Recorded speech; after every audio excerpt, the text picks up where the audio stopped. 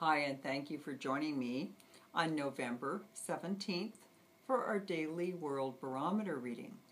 I'm Margaret VanLaanMartin. It's really fun to get to do these daily videos looking at world energy, and I really appreciate it when you follow me on YouTube, Twitter, Facebook, LinkedIn, Yelp, all those other different social medias, and that you share them with your friends. So please share this information with your friends. I'm really enjoying doing it. I'd love to have more people watch. And today we are looking at strength. So this is a fabulous card for right now.